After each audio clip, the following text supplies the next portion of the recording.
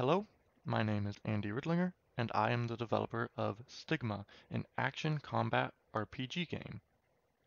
After being exiled, challenge the tower and rise to the heavens to take back what's yours. So Stigma is a cross between Risk of Rain 2 and Final Fantasy XIV's Deep Dungeons, with a focus on Final Fantasy XIV's Deep Dungeons. You will be climbing a tower as you level up your character and fight your way through it using traditional RPG mechanics from MMOs, while also gaining tons of abilities and power-ups just like in Risk of Rain, with it going endless. The Tower of Fantasia is humanity's last bastion, but it is not without its own dangers. You play as a member of the Kroystein, who are the protectors of the tower, until you were banished after finding a forbidden tome, and your powers were also sealed away. Now, with nothing around you but the wastes of what remains of the outside world, you resolve to fight your way back up the tower and take back what is yours. The core pillars of Stigma are unlocking an arsenal of abilities, you'll be able to gather power and build your character as you like. Interactive bosses and enemies, you will have to observe and learn the skill patterns of your enemies in order to survive.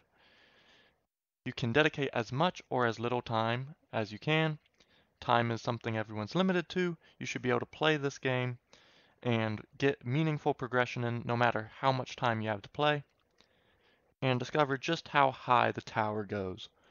Push yourself to your limits to see how long you can survive, how far up you can get, as well as encounter a variety of environments and different enemies.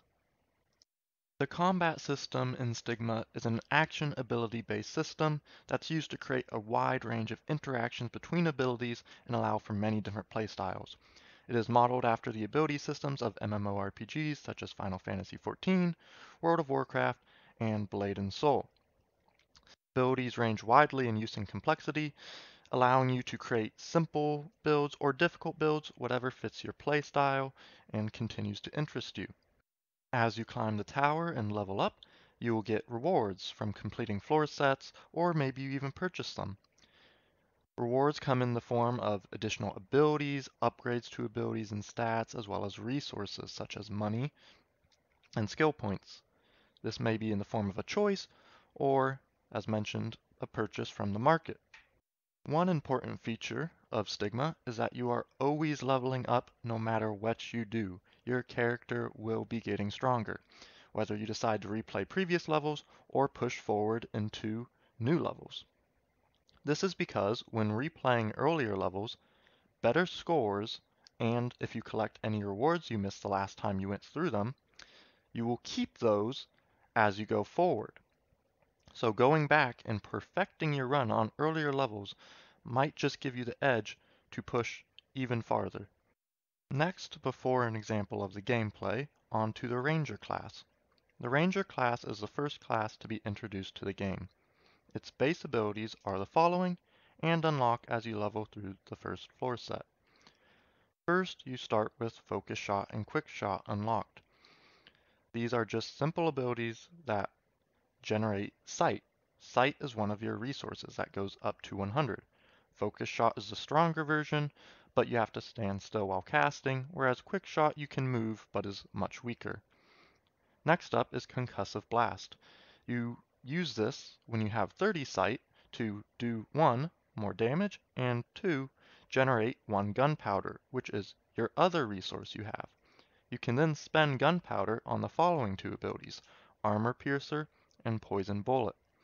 Armor Piercer has the additional effect that it increases the damage taken of the target by 20%, and this does stack. And then there's Poison Bullet. This fires a projectile in front of you, and anything it hits, it will deal damage to, as well as apply a damage over time that does 20 damage every 3 seconds for 9 seconds. Then finally, onto our larger cooldowns, we have Lost Focus, which costs 100 sight has a cooldown of 60 seconds, but will buff your damage by 50% and increase your crit chance by 20%. And then Bearskin, which is just a 80% damage taken um, decrease, for 15 seconds, which can prove very important to survive certain skills. And then finally a sprint, which just doubles your movement speed for the next 10 seconds. Now on to the gameplay video where I will be covering the core mechanics and what is going on. It is sped up at parts to show just the core mechanics, so if you wish to see the whole gameplay demo, which is 15 minutes long, you can access it through the slides. You start off at level 1 with only two abilities, Focus Shot and Quick Shot, and are thrown into the first floor with a few types of enemies. Your goal is to get to the end, which is a tile marked in red. You can go as fast as you want, but earning experience is important, and to do that you must fight enemies. As you may be able to see, you play in third person with the camera locked to your heading. You target monsters simply by looking at them and can tell what is targeted by the red outline around them. The enemies themselves wander around in a small area until the player gets close enough, in which case they will chase you relentlessly. Enemies will auto-attack occasionally, dealing a small amount of damage to you when they are near you, as well as cast various area of effect spells. The orange markers represent where those area of effect spells are going to hit and should be dodged. For the UI, notice the green bar in the center of the screen on the lower portion. That is the player's health bar. To the left of that, and slightly above, is a yellow bar that as it fills, which is your sight bar. You generate sight by casting focus shot or quick shot, which is on the player's 1 and 2 button. And then to the right of that is the gunpowder bar. This you generate by casting Concussive Blast, which is on the player's 3. Then at the bottom of the screen in yellow is the player's experience bar, as well as to the right of that the player's current level. After defeating enemies, you gain experience indicated by the experience bar at the bottom of the screen, as well as Dekon, which is the primary currency in Stigma, located at the bottom right of the screen.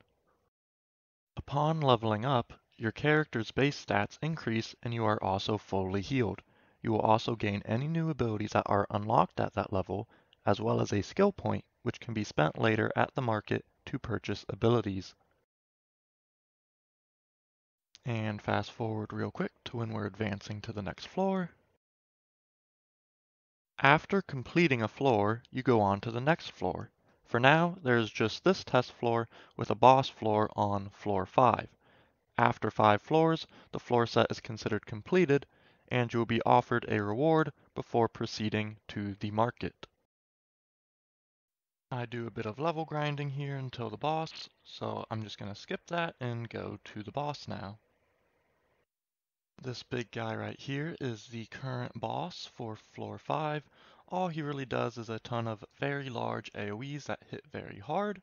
It is worth noting though that the very first AoE he does, which covers the whole room, will instantly kill you if you do not use the ability Bear Skin, which is a 90% damage reduction.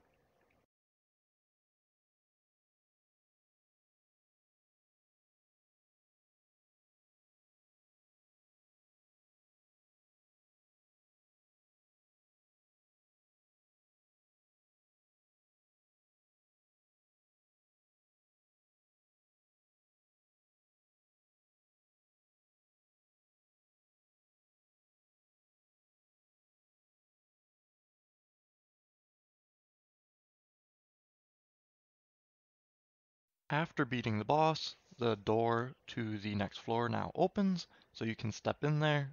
You then get offered a choice between three different rewards, and after choosing, you are then put into the market.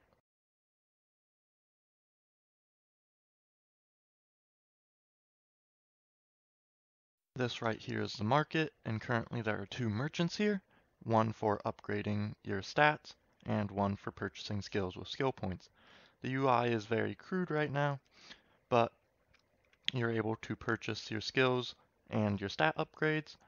And then once you're done, you can turn to the exit door, go through it, and then continue to infinitely climb the tower as you, for now, repeat what you just did, but with monsters at an even higher level.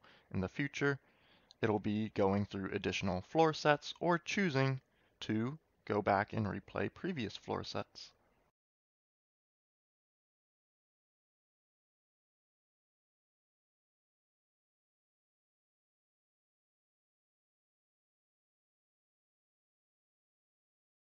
That is all in Stigma for now. There is a lot on the horizon, different character classes, more abilities and items, more enemy types, different floors, and of course, improved graphics. Development will be picking up quickly now as almost all the systems that facilitate the creation of these gameplay elements are done, so I hope you will look forward to the next showcase as much as I do.